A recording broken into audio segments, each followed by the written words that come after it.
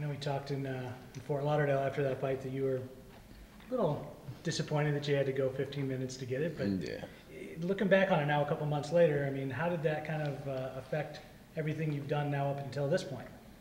Um, I don't think I don't think it affected anything. I just think um, you know, I did some th- stuff I need to work on for the fight. You know, uh, that fight I did a lot of striking and like, grappling. You know, um, but for this fight, you know, I did the same thing. You know, I prepared the same way I do every fight, so it's the same. right? So no, no real lessons that came out of that. Nothing, nothing, No, nothing I mean, changed, huh? I mean, I guess the only real lesson I could say is just um, it's just to be be a little more patient. Like uh, understand that I got to like.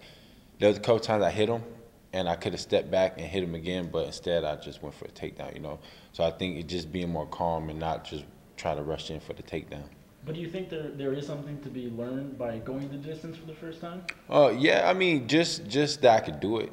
You know, I mean, I did it. You know what I mean? Um, a lot of people probably thought I couldn't do it. Cause I never did it before. So I guess the only thing that I could learn from that is that I can do it. You know? Is that one of those ones like, yeah, I did it and I, I didn't really like it that much. I'd rather just knock people out. Yeah, definitely. I ain't like it at all. You know, I'll go back to my corner. I'll be like, damn, I'm still fighting. You know, so it'd be like, yeah, I don't like it, but you know, if I got to do it, I, I got to do it, and I Sure. will do it. You know, so. It's a, a fairly quick turnaround. I mean, it's only it's like two months, right? I mean, how, how did that work out for you? And was that um, intentional? Did you want to get back in, back in there this quickly? Uh, yeah, I wanted to get back in there as soon as I can. You know, um, it worked out good. You know, I only had a few bruises from the fight. You know, I didn't really have that that uh that much to worry about. So I just want to get back in there, keep it going, keep my name out there, keep going up. Is Pichel the right step up for you?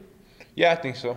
I think so. Um, he's tough. You know, he's a veteran here. You know what I mean? Um, I think I think it's the right step up. You know, if I get this win, I think it's just gonna keep pushing me forward. He has a lot more experience than you. Do you think he does he do anything that you haven't seen before? Will there be some some newer challenges? No, I think he does the same thing that everybody does. You know, um, he's very basic. He hits hard, comes forward, like to throw a leg kicks, body kicks. You know, um, yeah. So you know, we're ready for it. You know, he don't get me wrong. It's gonna be a tough fight. You know, I'm not saying it's gonna be an easy fight. Like gonna be a walk in the park, but I don't think he's gonna bring anything I've never seen before.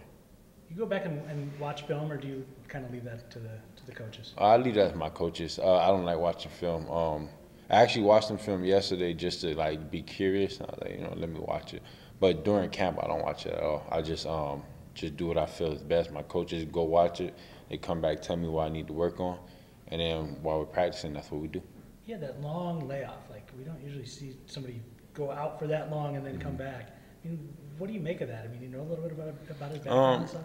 No, I don't know really too much about his background. I just think he like he had some stuff he wanted to work on, you know, which I ain't worried about. You know, he had a long layoff, you know, so we're gonna see how he is when he step in that cage again. You know, I've been doing it. Um, you know, I just had a fight. You know, I feel comfortable. I feel relaxed once I get in there. I don't need to get like get warmed up to the cage. You know, so we'll see what happens.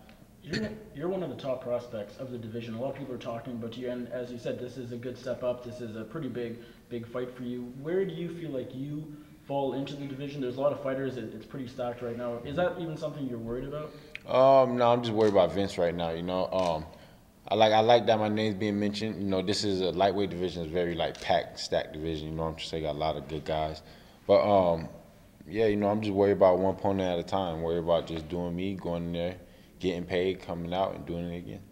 Feel different this week now that you've you've been through this before at the at the UFC level, and is it a little bit easier this week Yeah, coming into town? yeah, it's easier. Um, you know, I, I just like the experience. I always like the experience. You know, the experience is amazing. Coming out here, being taken care of. You know what I'm trying to say? And it's just like this once in a lifetime. You know, a lot of people fight, but a lot of people don't make it to UFC. You know, so I think that this is definitely like I'm just getting used to it. You know what I mean? I love it.